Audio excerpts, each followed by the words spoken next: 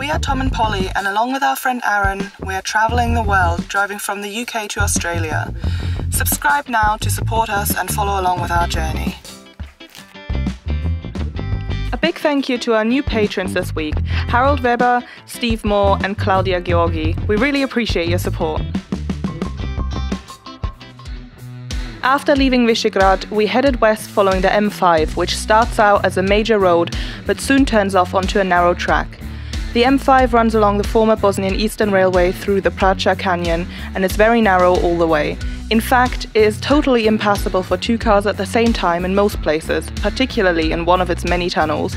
There are 20 tunnels overall, all of which are unlit, and three bridges.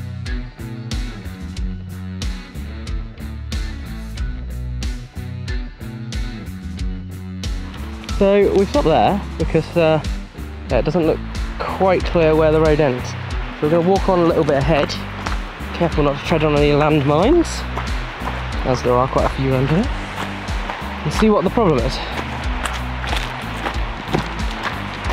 See whether we can get through.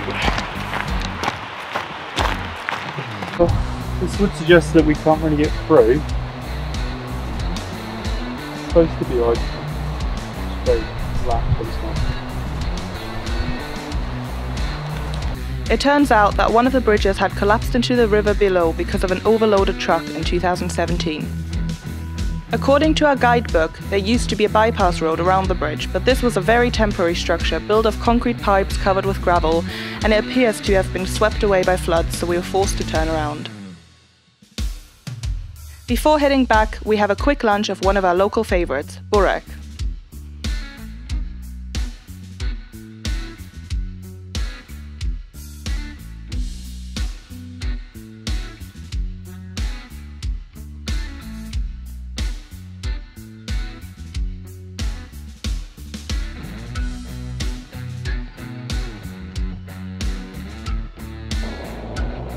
After leaving the M5, we head over the mountains surrounding Sarajevo and towards the mountain village of Lukomir.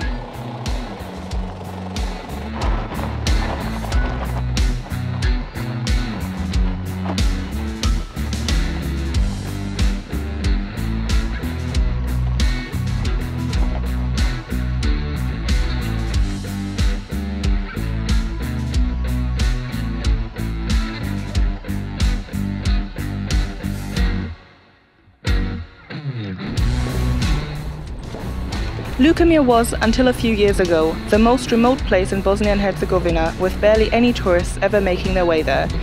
With a new and improved gravel track leading to the village, it is more accessible now and the touristic infrastructure has grown, but the charm and appeal of the village remain. It is still the highest place in Bosnia and Herzegovina in which people have settled, and this is noticeable.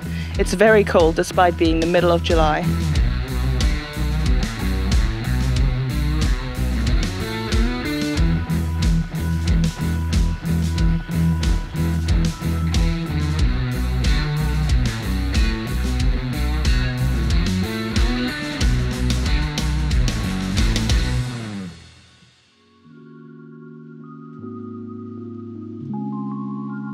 The next day, we go for a hike in the mountains around Lukomir and search for the lake that provides the water to the village.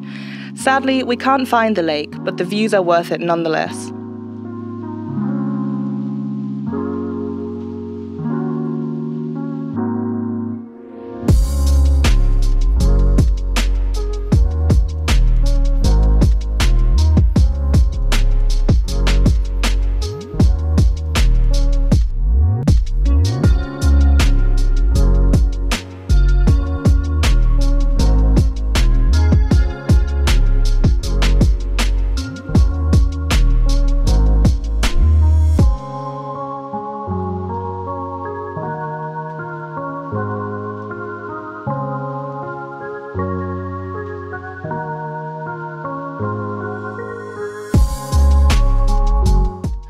We leave Lukomir and head back towards Sarajevo.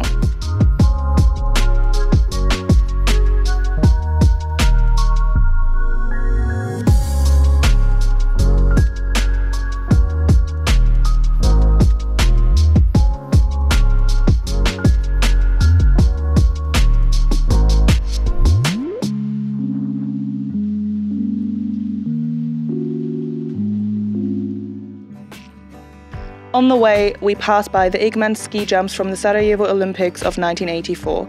Like many other sites of the Olympics, the ski jumps and surrounding buildings are abandoned and derelict, but it's a fascinating place to visit. We then drive to our camp spot for the night, which is right at the old Olympic bobsleigh run. It feels strange to be able to go this close to the site, and we are completely alone here at night.